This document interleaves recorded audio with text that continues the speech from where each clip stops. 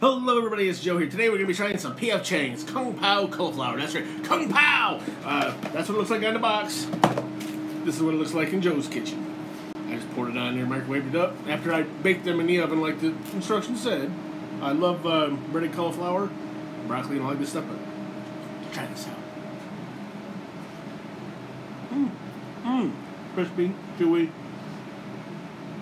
A lot of uh, soy sauce kind of flavor in that Kung Pao. Mmm. Not too bad. Good crisp.